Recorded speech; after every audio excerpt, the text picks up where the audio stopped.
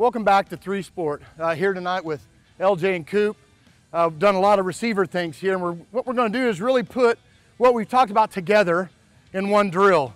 What's always good about these kind of drills, they become a little bit of an obstacle course, but uh, it's a chance again for, for warm-ups. We, in this drill we're going to talk about, we're going to get a, a lean and stick, we're going to get a speed cut, we're going to get a stick move and catch a ball, and all the things we've talked about we can kind of put into one.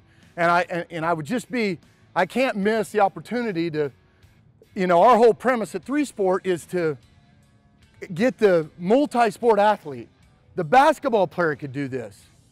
The baseball players, and they all gain value. If you're playing more than one sport, you're doing something here that's going to help your conditioning.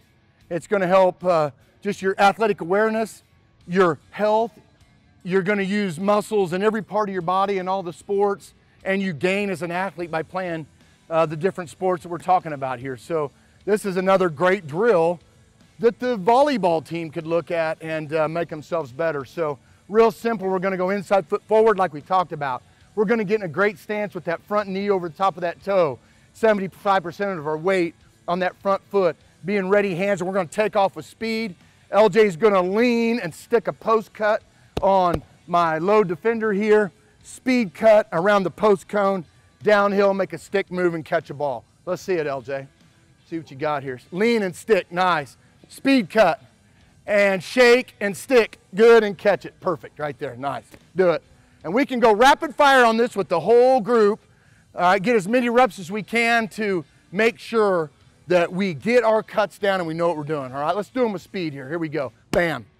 Lean and stick, good.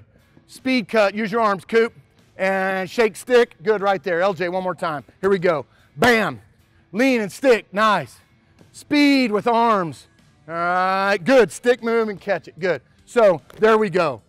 All of the cuts that we talked about. We didn't put the pivot cut in here, and you sure could. You could put it somewhere in here uh, where we open, get big, post up, and catch a ball in there. This gives us a chance to be universal with our group, make all the cuts in one drill, be efficient in our practice, and uh, get these guys better.